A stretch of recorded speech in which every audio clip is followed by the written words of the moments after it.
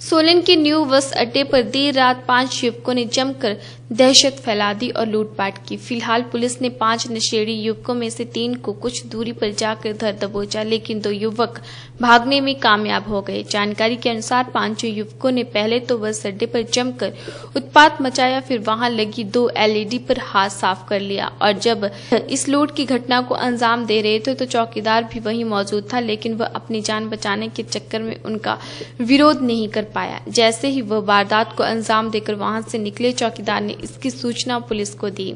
जानकारी के अनुसार जब ये बस अड्डे से निकले तो भी ये शांत नहीं हुए और रास्ते में आते हुए करीबन आधे दर्जन वाहनों के शीशे भी तोड़े और उनका म्यूज़िक सिस्टम भी ले उड़े। लेकिन कुछ ही दूर जाकर ये युवक पुलिस के हत्थे चढ़ गए, लेकिन दो युवक वहाँ से भागने में कामयाब हो गए। अधिक जानकारी देते हुए अड्डा इंचार्ज विजय कुमार ने बताया कि चौकीदार के पास नशेड़ी युवक खड़े रहे और तीन नशेड़ी युवक वह अड्डे पर लगे। एलईडी चोरी करने में लग गए। कुछ देर में वह चोरी कर वहाँ से चले गए, जिसकी सूचना चौकीदार ने पुलिस और आरम को दी। जिन्हें पुलिस ने कुछ दूरी पर ही पकड़ लिया। उन्होंने बताया कि अभी पुलिस तीन साथी चोरों को ही पकड़ पाई है। दो भागने में कामयाब हो गए हैं। जो नाइट वॉचमैन था कमलेश कुमार, उसने फ़ोन द्वारा मुझे बताया कि बस स्टैंड पर चोरी हो गई है। एलईडी वगैरह जो लगे थे, उनकी दो एलईडी ले गए हैं। रात को, तब जब मैं सवेरे बस स्टैंड पर आया तो मैंने देखा कि दो एलईडी वाकई ही चोरी हुए हैं। और उसके बाद वो चोर भी पकड़े गए हैं, जिनसे इनकी रिकवरी हो जाएगी।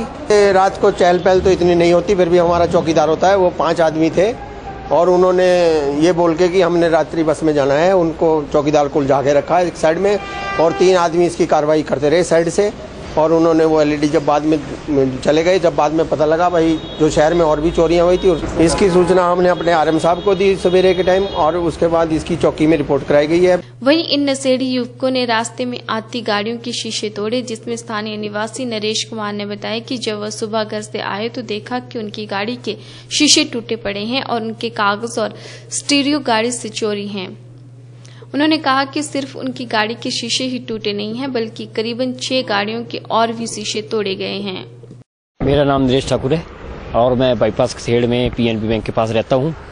और जब मैं सुबह अपनी गाड़ी के पास आया तो मैंने देखा मेरी गाड़ी के लॉक वगैरह टूटे हुए थे और गाड़ी से मेरे जो कागज़ और स्टीरियो और पेन ड्राइव वगैरह वो चोरी हो गई थी गाड़ी से।